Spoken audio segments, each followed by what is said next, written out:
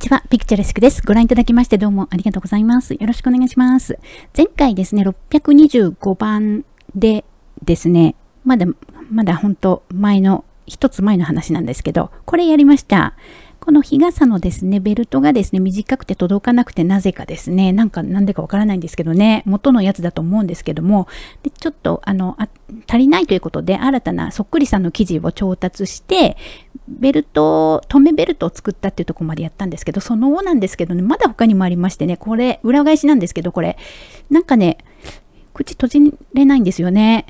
で、リフォームして広げようと思います。まず横、こんだけの後ろ結構あるので、これをですね、5ミリ5ミリやるだけで1センチ分広がるので、結構効果があるんじゃないかと。あとね、タックが寄せてあるデザインになってるので、入り口のところ、あれもタックを全部取っちゃおうっていうことになります。そうするとちょうど良くなるのかなっていうふうに思いまして、そのままですね、スナップボタンっていうかドットボタンですね。これはね、使っていくから、それを避けてちょっとお直ししていく形になりますね。結構凝っているんですよ。なんか先のところにも、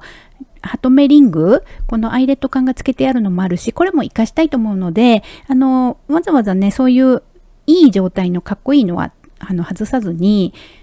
リフォームするべきところだけを最低限リフォームしていこうかと思いますね。なんかすごくきつくて、それがちょっと不思議なんですよね。なんでこんなにきつく作ってあるんだろうっていう感じですごいなんかはちけそうじゃないですか。なのでですね、ちょっとゆったりと入れてあげた方が気持ちがいいし、やっぱりパチンって閉まる方がね、収納がね、すむ、あの、なんかすっきりしていいんですよね。なのでちょっとしたことですけど、ちょっとリフォームして、まずほついていきますね。サイドからやっていきます。サイドとその入り口のとこもやるんだけれども、あの両方ともほついて、で、ほつほつくのも、あの、アイレットリングの周辺でやめるっていう感じで、あそこを、最後ね、ちょっと手縫いも入れていくんです。で、あの、私からのおすすめとしては、あの、手縫いの方がいいところは手縫い、で、デリケートなものですからね、一枚仕立てで。で、ミシンの方がいい部分はミシンでさっとやっちゃうって感じで、ちょっとね、使い分けがある感じになりますね。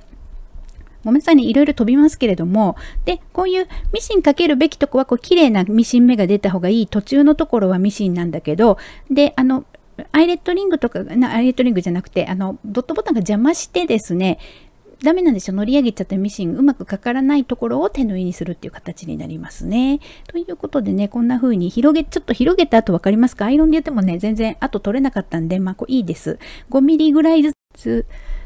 広げまして、だいたい1センチ強ですね、広がったので、あの、こういう風に入りましたし、なんかギューってやると無理やりやって破れちゃう感じがしてはちけそうだったんですよね。なので余裕を持って入れれるようになったことと、あとですね、入り口のとこのドットボタンが、あの、パチンと閉めれる状態に変えました。ということで、なんか引き続きちょっとリフォームの後半になりますけどね、前回の動画の一つ前の動画よろしかったら、ベルトを直すところをやっているのでね、そこを見ていただいて、で、あのー、その後ですね、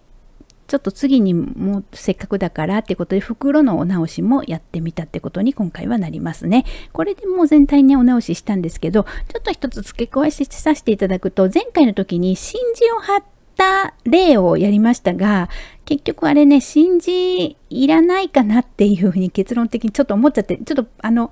ごわつくのはね、そんなに、まあ、どっちみちごわつく生地を選んじゃったんで、あの、芯貼っても貼らなくても、あまりその辺の違いはなかったんですけれども、あの、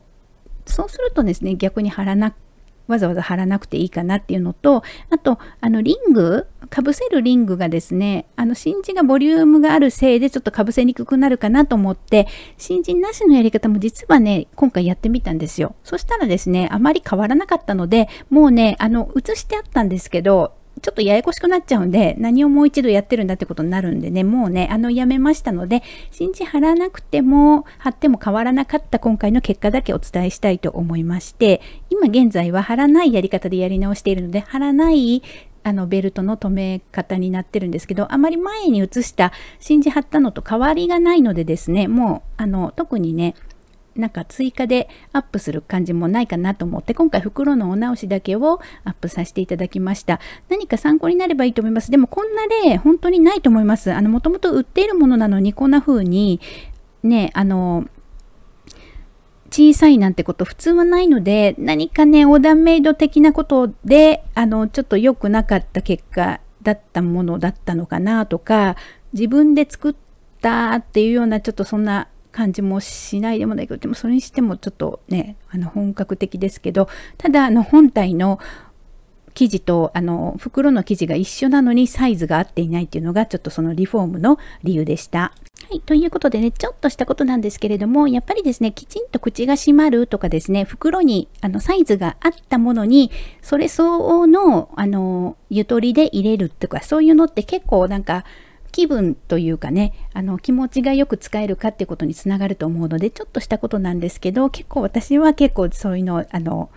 気にする感じがありますね。でですね、自分のもの一度直したということで、ちょっとご紹介してみました。ありがとうございました。